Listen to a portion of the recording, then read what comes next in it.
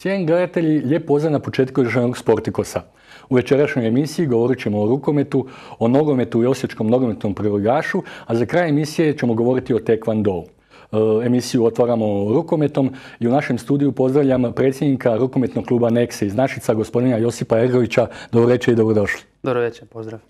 Evo, predsjedniče uspješnog kluba, e, puno je kolosijeka, puno je tema za razgovor, ali ćemo krenuti sa e, najljepšom, možemo reći, ovo sezonskom pričom, a to je ona međunarodna, inozemna, e, u klubskoj povijesti najbolja moguća sezona, međunarodna od Ceha Lige u kojoj je nek se po prvi puta sudjelovao na završnom turniru u šest najboljih, konačno šesto mjesto, možemo reći sigurno već najuvaženijoj evropskoj klubskoj ligi i potom e, povijesni uspjeh prvi hrvatski klub koji je e, zaigrao i u ligi EHF-a e, čestitke dvostruke za dvostruki međunarodni uspjeh. Kako ste vi to evo, doživjeli i već sad već evo, pomalo arhivirali te klubske uspjehe?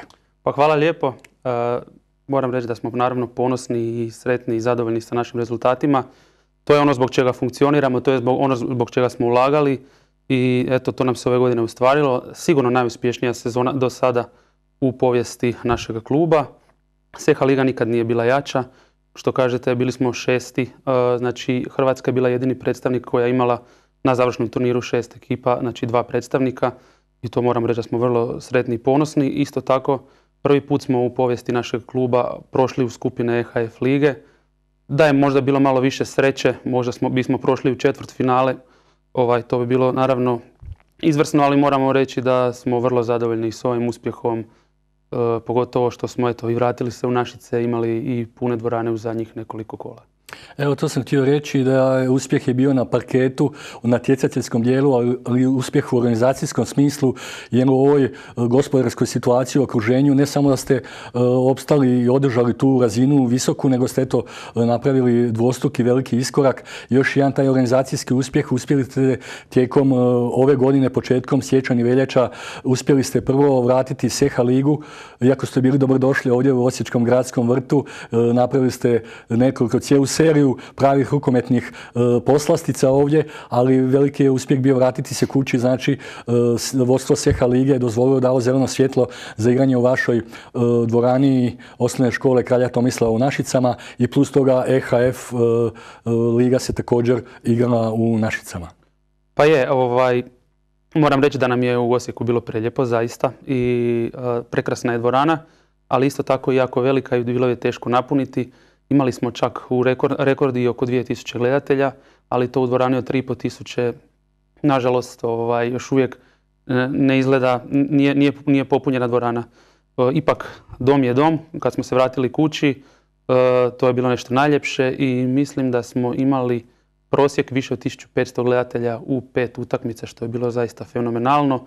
Mi iz kluba najbolje znamo koliko je to bilo sve teško ispratiti. Spomenuli ste i, i gospodarsku situaciju, naravno da nigdje nije lako ali ovaj, eto, uspjeli smo unatoč svemu uh, vratiti se, to nam je naravno i troškovno, uh, troškovno puno ovaj, jednostavnije i organizacijski puno prihvatljivije.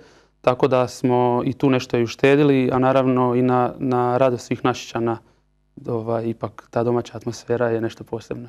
Evo da se vratimo Seha ligi, e, liga koja se diže eto iz sezone u sezonu i vi zajedno s njom. E, kao što ste rekli na završnom turniru u Novom Sadu dva kluba PPD Zagreb i Nekse. E, u Vespremu. U, Vespremu, pardon. Pobjednik je bio mađarski Vesprem koji je ove godine pristupio u ovoj ligi. Čak tri momčadi iz četvrtfinala Lige europskih prvaka bili su sudionici ove lige i po tome je to najjača liga, jača i od Bundeslige i bilo koje španjolske, da ne kažemo. E, znači, e, najjače klubsko natjecanje to poslije Lige prvaka. Pa dobro, možemo tako reći definitivno da su najjači klubovi, e, najjači klubovi iz Seha lige jači od bilo kojeg, od bilo kojeg ligaša iz bilo koje druge lige. Iako, ajde, moramo biti iskreni, Bundesliga je jedna iznimno jaka liga gdje ima puno više podjednakih klubova, ali možemo reći da je Seha sigurno uz Bundesligu, uz Bundesligu ovaj, vrh svjetskog rukometa i definitivno ove godine je ta liga ovaj, bila najjača do sada. Izuzetna poslastica za sve ljubitelje rukometa kogod ju je pratio, to je zaista nešto što možemo samo reći da smo ponosni što smo bili dio toga. i eto, nadam se da će ovaj, na godinu da ćemo isto biti dio toga, a imam nekakav osjećaj i najave da će to na godinu biti još jača liga. E, najavljeno je da će vjerojatno e, turski prvak Bešiktaš bi se trebao isto priključiti u to društvo Sjeha lige. odluka će pasti negdje polovinom lipnja. E, to je dokaz da se svi hoće priključiti uspješnoj i rastućoj ligi. Upravo tako, takve su najave. moram reći da je i, na prošlom upravnom odboru Sjeha lige rečeno da je to prilično izvjesno, ali naravno nije još sigurno što će se znati u lipnju. Mislim da sa Bešiktašem dobivamo, Sjeha liga da dobiva kao prvo jedno veliko tržište rukometno, ajmo to tako reći. Znači Turska koja je koja je, će biti on tada, koja će biti najveća zemlja sudionik Seha Liga, imat će svog predstavnika. To je dobar marketinški potez, a isto tako i rukomet se u Turskoj iznimno razvija i to, to je jedan ozbiljan klub sudionik Lige prvaka koji će sigurno i ponešto podići kvalitetu Seha Liga. Vesprem se ove godine e, priključio i odmah osvojio eto, naslov pobjednika Sjeha lige. E, završnica je odigrana u mhm. mađarskom Vespremu. E, ima naših reprezentativaca u redovima Vesprema. Vesprem je zaslužio, možemo reći, naslov. Imao je samo jedan poraz u cijeloj sezoni. Da, Vesprem je apsolutno zaslužio. To, je, to pokazali su, moćno su se prošetali Seha ligom, evo izgubili su samo jednu utakmicu od Vardara u Skoplju. To mislim da je bilo 8-9 razlika, sve drugo jednostavno možemo reći da su se prošetali, pokazali su koliko su, koliko su e, dominantni sprem svih nas, ali to su pokazali u Seha ligi, ja se iskreno nadam da će ju, u, pardon, u Ligi prvaka, ja se iskreno nadam da će ju i osvojiti. Ja reći da su moji favoriti. Evo možemo samo zaključiti ovu Seha e, priču da je treće mjesto ove godine osvojio višestruki hrvatski e, prvak PPD Zagreb. E, vi ste, eto, to sam u razgovoru sa trenerom Kordinem zadnji puta kad je on gostovao u Sportikosu smo spomenuli da ste, niste još na tjecateljskom smislu uspjeli pobijediti Zagreb, ali ste mi se ponovo približili, pušete im za vrat stalno, nadamo se da će tako biti ovdje, da ponovo osvojite naslov, da tamo kažemo jednako, možda i podjednako vrijedan e, vice prvaka Hrvatske. Slažem se da nikad nismo pobijedili Zagreb. E, Zagreb je pokazao koliko su moćni i jaki i u, e, u ovoj Ligi prvaka kao i u Seha Ligi gdje su samo jedan razlik izgubili u Vespremu od Vesprema. Znači u završnici, a pokazali su to i protiv danaca u Ligi prvaka. Ono što se u Barceloni dogodilo, to se može dogoditi jednostavno i jačim klubovima iz vrha. To je, to je toliko moćna ekipa Mislim da imena ne treba spominjati, e, tako da to treba čim prije zaboraviti, ali bolje je iskubiti velikim rezultatom u Barceloni nego ne proći Kolding. Tako da mislim da je, e, da je, da je to to definitivno Zagreb jedna jaka ekipa koju nikad nismo pobijedili osim u prijateljskoj utakmici. to sam I pitanje je kada ćemo ih pobijediti jer su jednostavno opet sve bolji i bolji. Je, imaju jednu mladu ekipu, mislim da je i jedna relativno jeftina ekipa na njihovu što se tiče njihovog budžeta u odnosu na njihove ranije, ranije godine, ali iznimno kvalitetna, dobro pokrivena na svim pozicijama i definitivno ajmo reći, vječni favorit za prvo mjesto. Evo, za nastavak te međunarodne priče moramo reći da i vi isto proizvodite igrača. U, ovu sezonu ste ušli bez nekolicine standardnih i najboljih igrača i strelaca. Svejedno se to sve posložilo u hodu, e, naporne pripreme. Sad je ovo zgusnuti, taj, zgusnuti ritam igranja svaka tri, četiri dana. E, širok je kadar, ali evo da spomenemo tu da ste prvi puta, prvi put jedan hrvatski predstavnik ušao u ligu EHF. E da, dobro, Liga EHF-a je mlada, to je njezina tek treća sezona, ali to ne umanjuje naš uspjeh. Sjećat ćemo se da je relativno davno prije, ne znam, manje od 15, više od 10 godina i Metković je osvojio taj EHF kup, znači ne treba i to zaboraviti, ali od kad je ta EHF liga osnovana i sigurno nikad jača, mi smo evo ga prvi hrvatski klub koji je u to natjecanje ušao. Što se tiče naših igrača, spomenuli ste, naravno ponosni smo na Ivana Sliškovića koji je sljedeće godine član Vesprema na Sandra Obranovića koji je nositelj u Zagrebu koji e, je došao iz Karlovca u Nekse, na Šimu Ivića koji je, koji je trenutno u celju, na Roberta Markotića ima mnogo igrača koji su kroz Nekse e, našli, ajmo reći, svoj put u jačim klubovima, sazreli kao igrači. Tako je, i financijski se osigurali svoju budućnost, što smo iznimno ponosni. Nadamo se da će, e, da će biti i domaćih igrača. Naime, moramo reći da je Našica jedna iznimno mala sredina od 9000 stanovnika i da to nije, nije lako baš imati ovaj, domaćih našičana, ali imamo, mi, imamo nekoliko slavonaca u našoj ekipi, iako po meni su domaći igrači svi koji su iz Hrvatske, ili ipak ako želite biti vice prva Hrvatske, uzmete najbolje što možete dobiti poslije Zagreba u, u Hrvatskoj. Ali evo da se vratim, biti će, siguran sam već u par godina, i možda i pokoji našičanin koji će imati svoje mjesto u prvoj ekipi. Evo spomenuli ste Metković, neko trofejni, nekoć trofejni klub koji je izbacio isto također jako puno vrhunskih svjetskih igrača. Metković je upravo vaš sljedeći suparnik u kup natjecanju ove sezone. Umag je domaćin završnog turnira od 14. do 17. E, svibnja e, u polufinalu protiv Metkovića, člana prve Hrvatske lige. E, očekivanja su naravno pobjednička da se nađete u finalu sa Zagrebom. Pa dobro, naravno, ne možemo ništa drugo nego prihvatiti da smo isključivi favoriti u toj utakmici. Metkoviću treba čestitati što je uspio doći do završnice, ali isto tako ne treba zaboraviti da Metković možda i najrukometnija sredina po broju uspješnih rukometaša na broj stanovnika što su proizvoli to ne samo u Hrvatskoj nego i, šire, možda i na svijetu. Isto jedan mali gradić koji je toliko dao reprezentativaca i vrhunskih rukometaša. E, radujemo se što ćemo igrati s njima, raduje nas to naravno jer će rukometni klub Nekse koji je toliko puta već bio drugi u Hrvatskoj, e, najvjerojatnije ipak, e, to je dobio sada najveću šansu da uđe konačno u finale. Mi nikad nismo igrali do sada finale Hrvatskog kluba. Evo, to je već e, jedna velika prilika za veći uspjeh, da se zaokruži ova jedna e, uspješna, po svemu već uspješna sezona, iako sad ćemo doći na kraj ili na početak e, domaće prvenstvo, doigravanje za prvaka, čini se ključna ulaznica za sljedeću sezonu. Samo prvak i vice prvak Hrvatske će igrati u Seha ligi. Ulog je ogroman, puno je toga na vagi. Kako ocjenjujete dosadašnji tijek vaše, vaše vaše momčadi u pet utakmica, evo imate dva poraza od, osim od Zagreba. Eto, jedan, da kažemo, neplanirani na gostovanju u Poreću e, u travnju 29 napravno 27 je Poreć pobjedio na domaćem parketu. Upravo tako. Možemo reći, kako sam rekao u početku razgovora, da nam je ovo najuspješnija sezona. Sve ćemo, ajmo reći, baciti niz vjetar ako ne budemo opet drugi ove godine.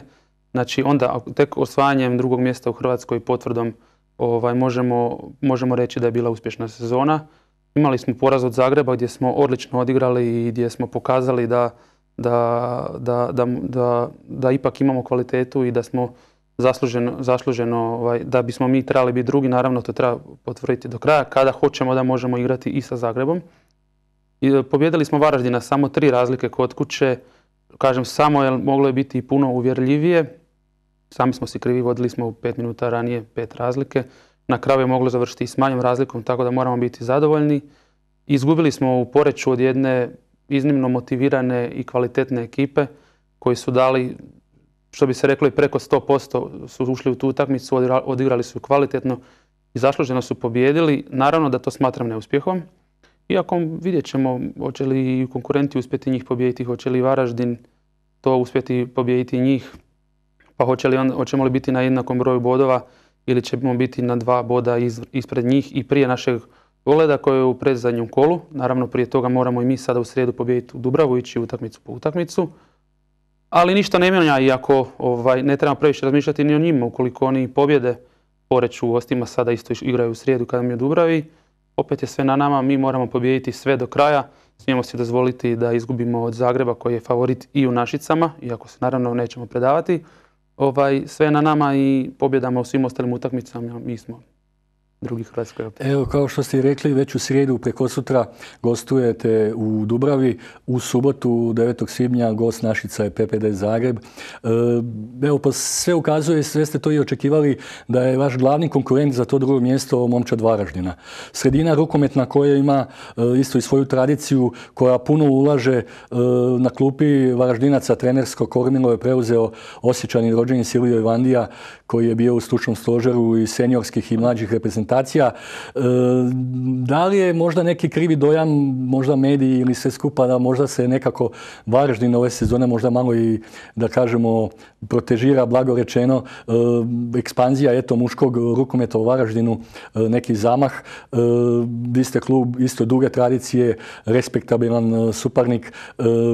Da li će odlučivati, evo što ste rekli, da li će ta utakmica u Varaždinu odlučivati i i s koliko eventualno, ako i ne pobjedite, s koliko uh, pogledaka eventualno izgubiti ili neodlučeno odigrati. Da li će to biti presudna utakmica? Pa mislim da će to biti presudna utakmica. Znači, ovaj, bez obzira na njihove, znači, na njihov rezultat u sljedećem kolu, bit će ovaj, samo moramo naravno mi prije toga pobijediti sve ostale utakmice, ovaj, ponavljamo osim Zagreba, koji ako bismo slučajno pobijedili, onda bismo riješili sve svoje, ovaj, ajmo reći tako, ovaj, neizvjesnosti i probleme, ali znamo da je to prilično teško. Znači, Varaždin je sigurno ovaj, iza nas, ja, ja bih ipak rekao, najkvalitetnija ekipa u toj ligi. Dobro su organizirana ekipa, imaju kvalitetnog trenera, dobro rade, imaju širok i kvalitetan igrački kadar, ali i, ipak i tradicijom, ali i budžetom, a ja bih rekao ipak i igračima i trenerom, da su ipak još nešto ispod nas. Tako ja mislim, a to je za vidjeti još do kraja kako će kako će to izgledati? Vaš razbor je to vrlo zgusnut, kao što smo rekli, već je sada u srijedu Dubrava, a u subotu dolazi e, Zagreb, e, potom slijedi eto, e, završni turnir Kupa Hrvatske u Umagu, potom i gostovanje u Umagu u nastavku doigravanja za prvaka i taj susret Varaždin Nekse u Varaždinu je 23. svibnja, predposljednje kolo možda bude eto, odlučujuće. U zadnjem kolu Poreć dolazi u Našice gdje će se vjerojatno pokušati revanširati širati njima. Upravo tako. Dobro, mi ćemo vidjeti, u razgovorima smo sa Umagom i pokušat ćemo ovaj kolo protiv njih da odigramo ranije, jer mi već u petak igramo protiv Metkovića u Umagu i bilo bi dobro za nas kada bismo mogli u srijedu već igrati u Umagu, znači prije toga, tako da si ovaj, skratimo boravak tamo, to jest da dođemo ranije i da se u nedjelju možemo vratiti e, kući i ovaj, da možemo se kvalitetno pripremati za onda naredno kolo. Vidjet ćemo što će, što će biti e, što i kako će biti po tom pitanju. A treba isto tako reći da nije ni Poreć bez svojih ambicija, jer bi našom pobjedom, jer bi Poreć svojom pobjedom u Varaždinu i našom pobjedu, znači svojom pobjedom kod kuće protiv Varaždina i našom pobjedu u Varaždinu i Poreć bi imao svoju matematiku pobjedom u Našicama možda, tako da, da se bi se moglo iznimno, neki trokut iznimno bi to moglo biti interesantno.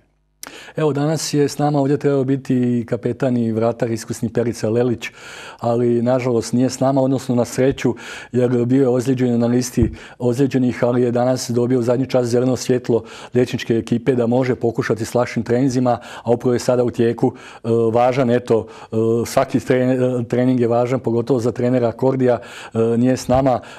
Glavno da su svi momci na broju, da su zdravi, kakva je atmosfera, eto, u slačionici? Pa ja imam dojam i osjećaj da je atmosfera dobra, bez obzira što je naravno da nije lako nakon neplaniranog poraza. Mi smo favoriti protiv svih osim protiv Zagreba i, i sve moramo pobijediti, tako da nije bila situacija idealna, ali ja ipak moram reći da sam jako zadovoljan i da zadnjih godina nikad nismo imali tako dobru uh, situaciju u slačionici što se tiče međusobnih, kako se uh, dečki svi zajedno druže, druže, slažu. Tako da je to prilično dobro i tu sam prilično optimističan. Tako da ovaj, drago mi je što vi kažete da, je, da Perica Lelić ne može biti danas s nama. E, nažalost, evo ga, i prošle godine nam se isto tako dogodilo u završnici da se ozlijedio u Varaždinu i to u početku same završnice kada smo bili izgubili jedan razlike. Evo ove godine opet je osjećao neku bol, zatezao ga je mišić, ali čini mi se, hvala Bogu, da ipak nije toliko, toliko ovaj, ozbiljna ozljeda čim je danas dobio dozvolu za trening i da će on biti u redu i eto kako mi se čini da sada i sa svim drugima je zdravstvena situacija prilično dobra. Iako imamo široku klupu, svaki igrač nam je sada bitan. Evo, e, ne kukate puno, teška je gospodarska situacija, vi ste na četiri kolosijeka, dva međunarodna, e, doduše e, Seha Liga ima kvalitetnog sponzora koji su podigli te uvjete na jednu razinu, olakšali su sudionicima, klubovima, ali kako se to snalazite u teškim vremenima bez puno žalopojki, a držite takav visok, visok ritam i organizacijski i natjecateljski? Pa dobro, svi koji smo u sportu znamo koliko je to teško i potrebno je puno odrecanja i osobnih i svega drugog i financije. Naravno, nije lako, ali ovaj, nema ništa ljepše od zadovoljstva koje ti pruži kada vidiš uspjeh koji si, koji si e, postigao, kada vidiš punu dvoranu, kada vidiš da se ljudi u tvom gradu vesele, kada ti čestitaju, malo ti to naravno nekad laska. Tako da, hvala Bogu da možemo, trudit ćemo se i dalje i mislim da ćemo i dalje moći i da ćemo ostati tu gdje nam je mjesto. Evo ga, kao viceprva Hrvatske i član Seha Liga. Evo, sa tim željama, prvo da se dokopate, prvo da pobjedite, naravno, Dubravu u srijedu, da malo zapaprite i Zagrebu u subotu u Našicama, kako vi to znate, uz bučnu podršku navijača, da se dokopate najmanje finala Kupa Hrvatske i naravno da ponovo budete vice prvaci Hrvatske i da Seha Liga i dalje stanuje u Našicama. S tim željama zahvaljujem se na gostovanju. Hvala vam lijepo. Evo i cijenim gledatelji, a mi idemo dalje e, s našom emisijom. U nastavku ćemo govoriti o nogometu. Nogometaši Osijeka su u nastavku prve HNL e, izborili e, minimalnu, ali više vrijednu domaću pobjedu protiv Zagreba. Pa pogledajte jednu zanimljivu priču iz Osječkog gradskog vrta.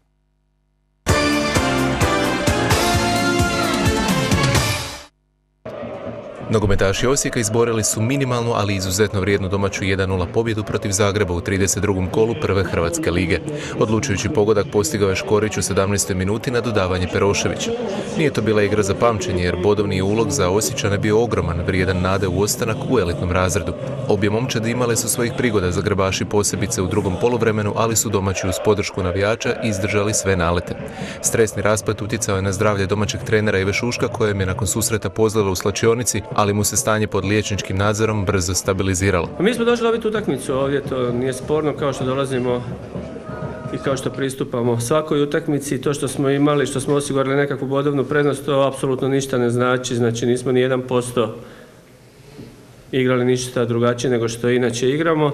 Pokušali smo sa nešto izmijenjenim sastavom od početka utakmice jer smo znali da će Osijek biti izuzetno agresivan, znamo šta im ovi bodovi znače i tu nekakvu formaciju 4-3-3 htjeli smo ju prilagoditi u 4-6-0 da dođemo do što kvalitetnijeg posjeda, da se rasteretimo i da anuliramo taj pritisak Osijekovih igrača i znali smo da drugo poluvrijeme to je zapravo naša procjena bila da će Osijek padat, da ćemo mi rasti, da ćemo doći do svojih prilika. Uveli smo u poluvremenu Bobana i, i Lovru, nakon toga i Konopeka i jednostavno utakmica je išla u tom smjeru u kojem smo htjeli, stvorili smo nekakve prilike, nismo zabili gol.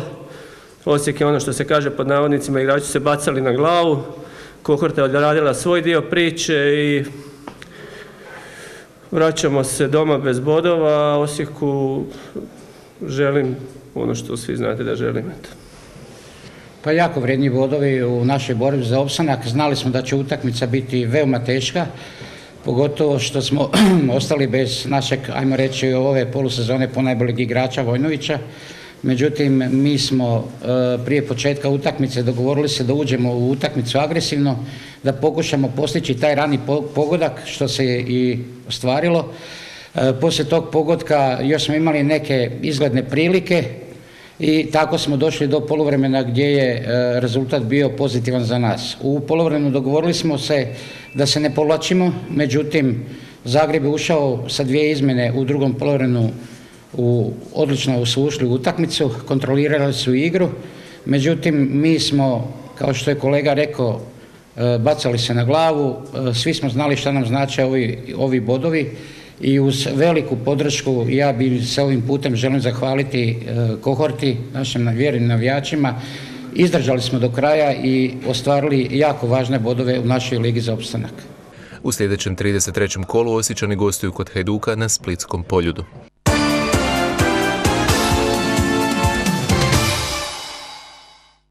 Ne, evo čestitke na vrijednoj pobjedi, nije bilo ni malo lako, nije se ni očekivao lagan posao.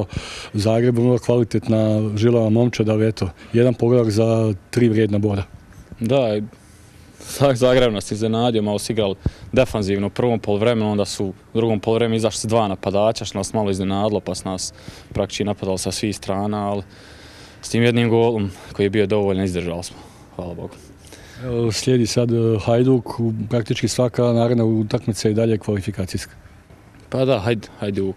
Hajduk su potrebna tri boda za izlazak u Europu, tako da mislim da možemo mi nešto da postići, ali on će biti po nekim malo većim imperativom nego mi, mi trenutno. E, je tempo, ima, umor se osjetio kod nekih igrača, nisu mogli svi ni izdržati, ali eto ima još ovih nekoliko kola koje se mora izgurati. Pa da, ova, ova putovanja, bili smo, pet dana smo bili u Splitu, Zagrebu, stvarno putovanja su nas praktički dokrajčila, ali ne stigneš se odmorit, nemaš kupke kao što imamo ovdje, nemamo dovoljno kvalitetnog odmora, ali moram, moramo, moramo svi zgusniti sad, izdržati ovi par još kola i nadam se ostati u ligi što prije. Zvonimir čestitke za pobjedu, nije bilo ni malo lako. Čvrsta utakmica, nezgodan protivnik, bilo je šansi za učvrstiti vodstvo, na kraju se malo istrepilo, a eto, ali tri važna boda su ostalo u gradskom vrtu. Pa da, hvala Bogu na tome. E, jako teška utakmica. E, već pogotovo nakon što smo ovo nam je treća utakmica u tjedan dana, pogotovo nakon ono, bilo je teško se vratiti nakon e, poraza u Splitu. Onda je još utakmica u maksimumu protiv Dinama, ali danas smo pokazali da, da jednostavno želimo ostati u ligi i da želimo to što prije osigurati. E, što se tiče utakmice, oni su malo ušli smo mi čvrsto, ali nakon 25 minuta osjetio se pad, možda malo se uko strah, pogotovo nakon tog gola. Nismo ga htjeli primiti, na sreću nismo. Drugo polovrijeme, oni su malo preuzeli kontrolu, mi smo ih pustili, ali držali smo se čvrsto, na kraju smo imali tih par prilika, ali nema veze, na kraju se računali sam tri boda. Možda u konačnom rasplatu neće biti dovoljni samo bodovi na domaćem terenu. E, treba nešto donijeti sa strane, slijedi gostovanje kod Hajduka koji je ponovno posloži malo redove i koji se bori za Europu. Pa, naravno, možda ne treba sad očekivati i da, da ćemo mislim da se možemo sve dobiti kod kuće i zato moramo vijati bodove u gostima da bi nam što je bilo lakše bilo igrati i ove utakmice kod kuće. Da možemo opuštenije ući u njih. Što se tiče i sljedećeg protivnika, malo su posložili redove, ali nije to, nije to momčad koja se ne može pobijediti, pa makar i na polju. Nikola, evo nije bilo ni malo lako. E, uložili ste puno truda, tri vrijedna boda su ipak ostalo u gradskom vrtu. Pa da, sigurno jedna od težih utakmica koje smo igrali ovu sezonu, što se tiče, mislim, i psihički smo malo, e, ali mislim da nam fali dosta i Vojnović, e, ne dosta nego puno i mislim da, da, da smo eto uz malo sreće danas došli do tri boda. Zagreb je bio opasan, pogotovo u drugom polovremenu kad su krenuli sa dva napadača. Pa, Zagreb, je, Zagreb je po meni iznenađenje e, ove lige. Zagreb ima puno, kako oni kažu, španera, dečki vole igrati nogomet i sigurno nije u veznoj liniji, e, s njima se lako nosite, ali eto, mislim da, da, da smo uz dosta sreće danas došli do tri boda, realno. Slijedi gostovanje na Splitskom polju, može li se tamo nečemu nadati? Pa nadamo se, idemo svaku utakmicu pobijediti, e, tako nam šef nam, tako mislim, E, mislim da možemo to napraviti, da, da možemo doli tražiti neke bodove, jer Hajduk je, i Hajduk se, Hajduk se digao, ali mislim da, da smo mi kvalitetna momčad i lako se vrati Vojnović da, da možemo doli tražiti i tri boda. E, malo se vidi da nedostaje svježine, tri utakmice u sedam dana, malo se to isto čini se sustiglo. Pa da, sigurno i napori su i kraj sezone i mislim da, da, da šef e, radi dosta kvalitetno i sve, ali mislim da, da umor dođe na, na naplatu i mislim da, da, da je ova bila utakmica prekretnica svega i mislim da ćemo se izdignuti, da ćemo biti iz utakmice i utakmice sve bolji i bolji.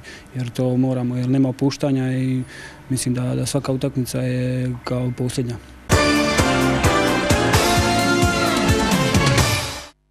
Poštovani gledatelji, evo nakon nogometnih priča prelazimo na Taekwondo. Pa u našem studiju pozdravljam dvojac iz Taekwondo kluba Osijek. Do mene je Denis Bakunić. Denis, dobro večer, dobrodošao. Dobro večer. I e, Damir Zahirović, glavni trener klubski. E, dobro večer, dobrodošao. Dobro večer. Evo, počet ćemo, e, do nas ovdje sjedi srebrni kadet sa prvenstva Hrvatske održanog u travnju u Splitu, a evo, vi ste se upravo vratili ovog vikenda, ste nastupili na Gatska Openu u Otočcu, z e, vikenda do vikenda e, ima vas širom Hrvatske jaki turniri. Kako stignete pobrojati i evidentirati sve te nastupe, uspjehe, medalje? Pa, Kalendar e, Tekvando Saveza je popunjen, svaki vikend ima neko događanje, e, tako da smo non stop na putovanjima i non stop po, turnirima. E, pokazuje se da evo, postižemo i rezultate dobre, a brojimo polako medalje, pa eto. Na kraju godine se svode računi, cijela statistika? E, naravno, ja poslije svakog turnira imamo bodovanje, znači koje e, provodimo unutar kluba. E, poslije svakog turnira svaki od natjecatelja koji je bio na turniru dobija određen broj bodova i na kraju se to zbroji i dobije se ko je najbolji bio kadet ove godine i ne znam, kadetkinja, junior, juniorka, senior, Po senior. svakoj kategoriji. Pa da. Evo, Denis Bakunić, kadetski uzrast. Denis je, kada si se, gdje i kako i zašto počeo baviti ovim atraktivnim sportom, tekvandom? Pa evo, počeo sam se baviti već za vrijeme prvog razreda dok sam bio u Novoj Gradišci i u biti m, tata me bio nagovorio na to i onda sam nakon godinu dana se preselio u Osijek pa sam odlučio nastaviti, nisam htio to prekinuti i jednostavno volim ovaj sport i ne mogu bez njega. E, koji razred ideš, e, u kojoj kategoriji se natječeš u tekvandovu? Pa sedmi razred i za sada 49 kg kategorija. E, Kako je bilo to u travnju u Splitu, srebrna medalja, veliki uspjeh i tvoj osobni, i klubski i trenerov? Pa da je, za mene je veliki uspjeh. Pripremao sam se za to natjecanje, znao sam da će doći do finala, da će nešto biti i evo na kraju drugo mjesto. Ja sam zadovoljan, može i bolje naravno, sad pripremam se za sljedeće turnire. Damire, kako vi e, vidite razvoj Denisa, a i općenito vrlo, vrlo perspektivnih i brojnih vaših mladih snaga u klubu? Pa evo, e, ja se nadam da će to ići e, sve bolje i bolje jer ima jedna e, grupa, a sad više nisu klinici, ali su nekad davno bili koji su zajedno počeli trenirati i ovaj, evo sad stasaju u prave borce. Tako da se nadam da će oni se zadržati ovaj, i dalje u taekwondo sportu i da će u stvari prave rezultate početi sad tek e, pokazivati, znači u nekoj, ono što kažu u drugoj godini juniora, izlaznom godištu juniora i u seniorima.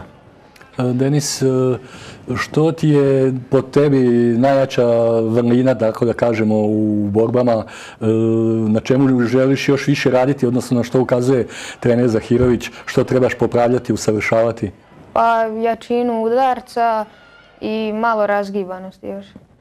Ovo je ostalo u redu, naravno može to i bolje, ali ovo mi je najbitnije. Koliko puta e, tjedno treniraš, koliko su tu treninzi traju, e, trenirate u svojoj maloj dvorani, u svom domu, u gradskom vrtu? Pa treniramo od ponedjeljka do petka, trening imamo od 8 do 10, e, imamo naravno i od 5 treninge, no to uvijek kad stignem, kad kad imam i školu pa ne stignem, no trudim se naći vremena pa ostanem čak i do 10 sati. Evo sad si već stari uh, osjećanin, kako ti se čine u Osijeku, kako je bila ta razlika, odnosno taj prilaz iz Nove Gradiške u Osijek, eto u tvom osobnom i školskom životu i ovom uh, sportskom? Pa u početku je bilo malo teško dok se nisam naviknuo, ali sad je sve već u redu i puno mi je bolje ovdje. Eto, e, trener sluša, vjerojatno, evo, treneru moramo pobrojati ostale, evo, e, članove, kao što smo rekli, istaknute, tu je Laura Zahirović, e, djevojčice Bede i cijela lepeza, kao što smo rekli, i Pa curica i dječaka. Mislim da sad u- u ovom trenutku ne bi smjeli zaboraviti Mateju Šuva koja je također bila druga na kadetskom prvenstvu Hrvatske. Znači Denis i ona su došli sa naslovima viceprvaka Hrvatske.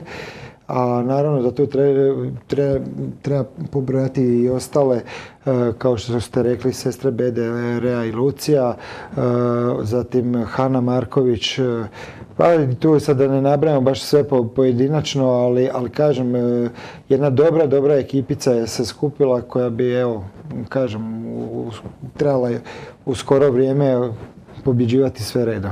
Ovo prvenstvo u Splitu je po prvi puta bilo objedinjeno, tako da kažem, i kadetsko i juniorsko zajedno. Što se dobilo e, tom fuzijom, tako da kažem? E, Da li je to samo zbog organizacijskih troškova, smanjenje ili... Pa ima toga, ima toga tu, ovaj, u stvari to i je krenulo se zbog e, smanjenja troškova za klubove, znači da se u jednom trošku or- obavi i kadetsko i juniorsko prvenstvo.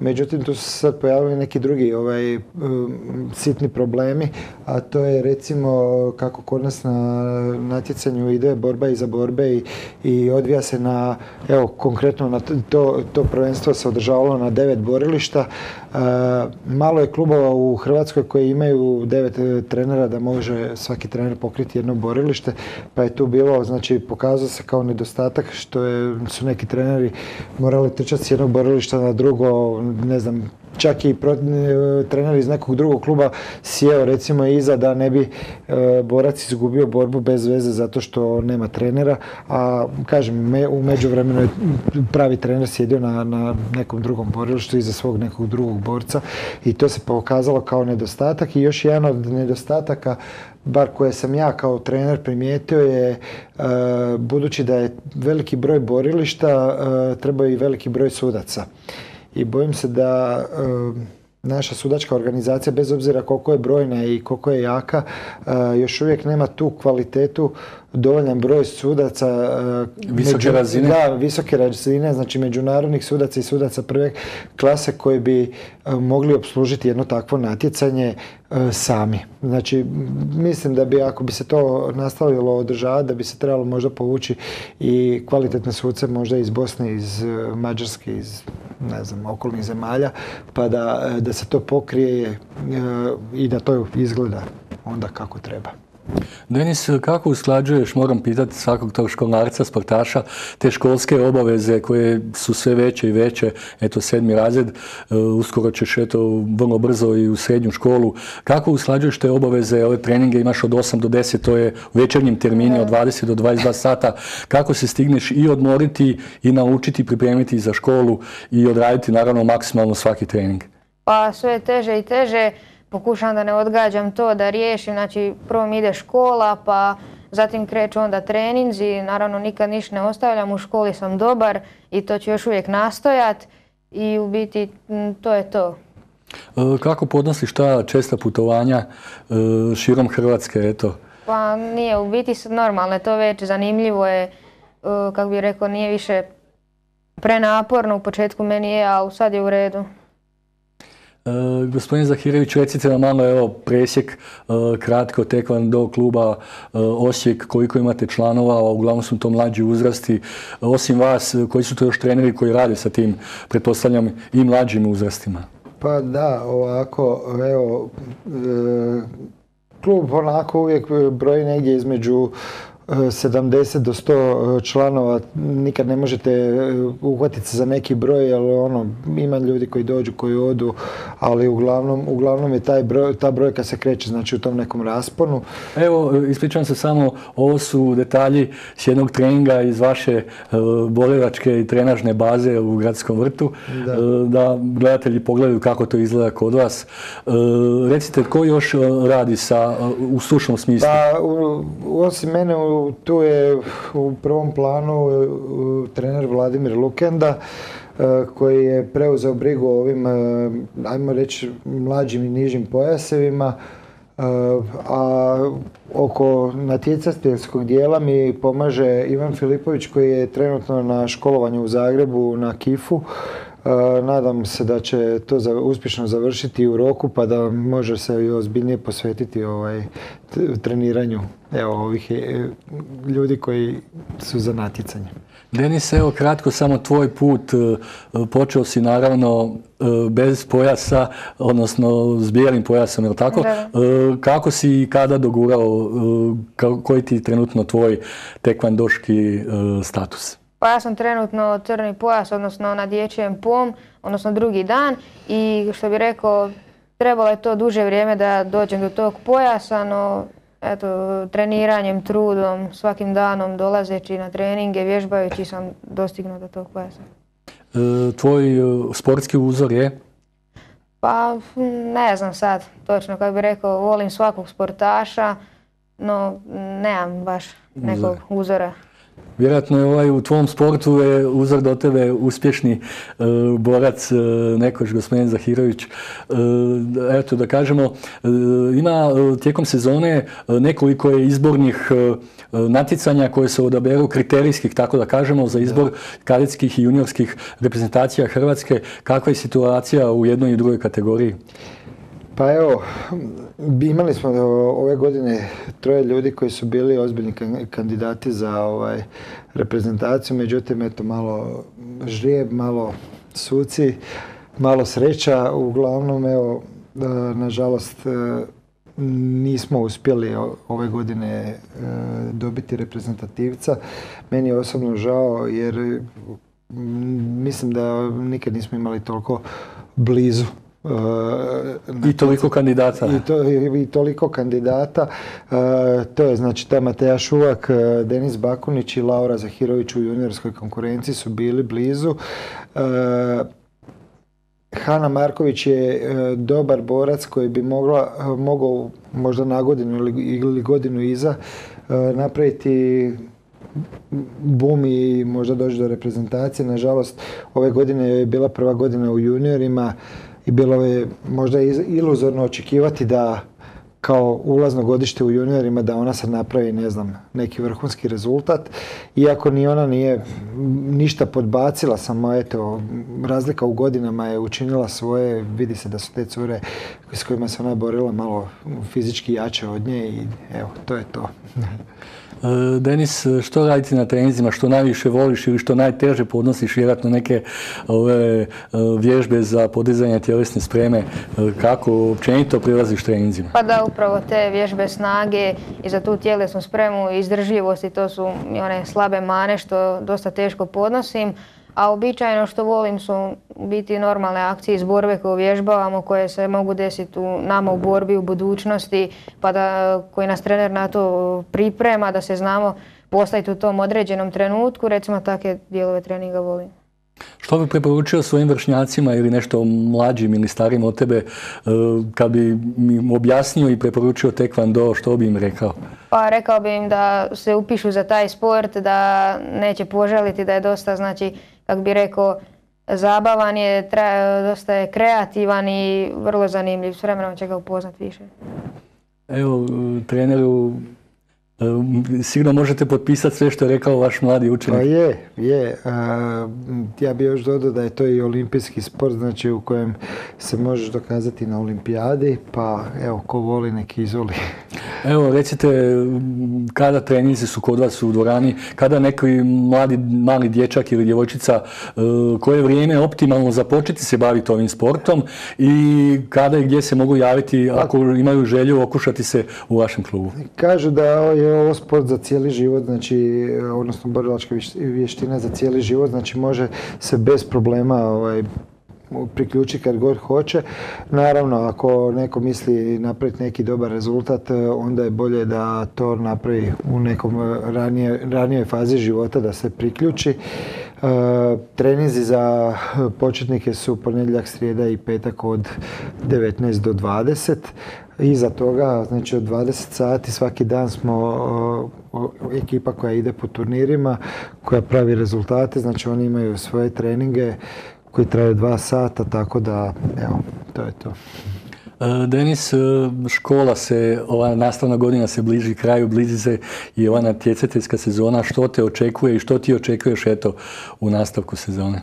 Pa sad, e, pripremam se sad za sljedeći turnir nadolazeći ovaj treći kriterijski i na njemu bi volio da napravim rezultat. I još iza toga imamo Austrija Open koji je svjetski i poznati turnir na kojem će pristupiti veliki broj natjecatelja pa bi tamo volio napraviti neki e, rezultat. A što se tiče škole ja sam tu gotovo, sve sam riješio.